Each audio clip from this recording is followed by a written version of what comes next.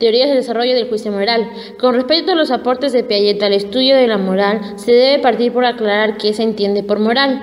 Para él, toda moral consiste en un sistema de reglas, y la esencia de toda moralidad debe buscarse en el respeto que el individuo siente por las mismas.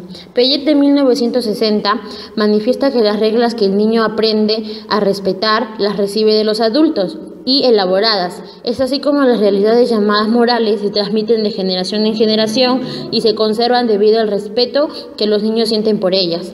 Para Piaget, las normas morales tienen tres características. Una norma moral puede generalizarse a todas las situaciones análogas, no solo a las idénticas. De igual manera, duran más allá de la situación y las condiciones que las generan.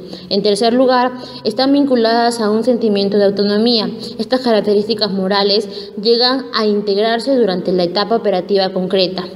Piaget en 1960 en su obra El criterio moral en el niño aborda el tema de desarrollo del juicio moral utilizando su método crítico clínico.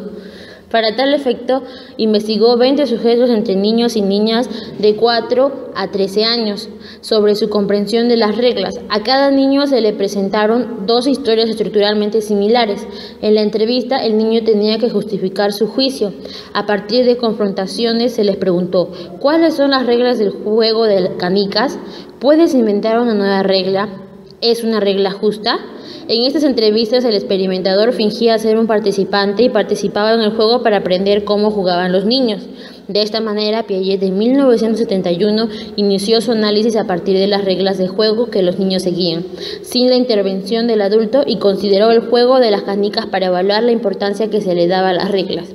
Así también para conocer qué era el respeto por la regla desde la perspectiva del niño. Gracias.